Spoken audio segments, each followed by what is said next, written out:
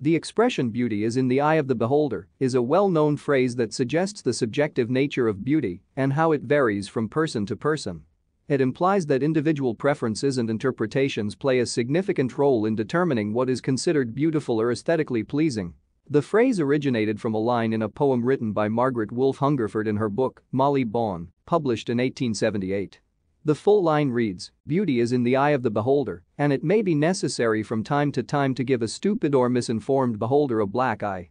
When someone uses the expression beauty is in the eye of the beholder, they are acknowledging that beauty is not an inherent or universally defined quality, but rather a subjective perception.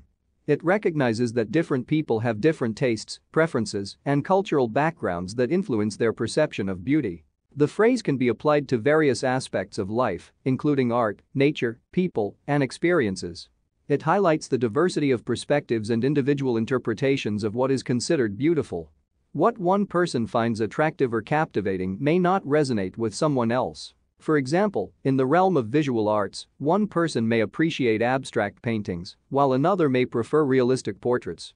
In terms of natural scenery, one individual may find mountains and forests beautiful, while another may be drawn to the tranquility of a beach or the charm of a cityscape. Furthermore, the phrase recognizes the influence of personal experiences, cultural norms, and societal standards on one's perception of beauty.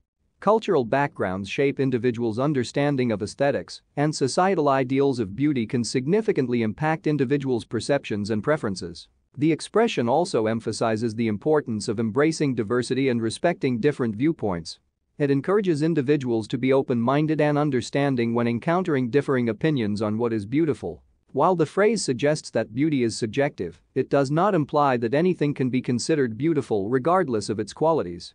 Rather, it highlights the importance of recognizing and respecting diverse perspectives and the inherent subjectivity of aesthetic judgments. In summary, beauty is in the eye of the beholder, acknowledges the subjective nature of beauty and the individual interpretations that influence its perception. It emphasizes that personal preferences, cultural backgrounds, and societal influences shape how individuals perceive and appreciate beauty. The phrase encourages open-mindedness, respect for diverse perspectives, and a recognition of the subjectivity inherent in aesthetic judgments. It highlights the importance of embracing individual differences and understanding that beauty is not an objective quality, but rather a personal and subjective experience.